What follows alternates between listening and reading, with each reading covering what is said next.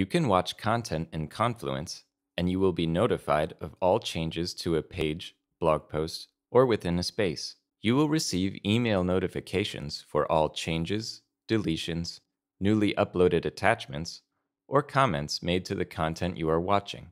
To watch a page, in View mode, click Watch in the Page menu.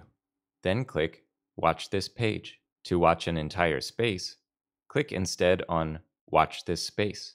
To watch a blog, select Watch for new blog posts in this space in the same way. You can stop watching by deselecting the respective option. You can also manage watchers in your own space. For example, this is useful when you create a new project and you want your team members to be informed of its progress. In the same dialog, click Manage Watchers.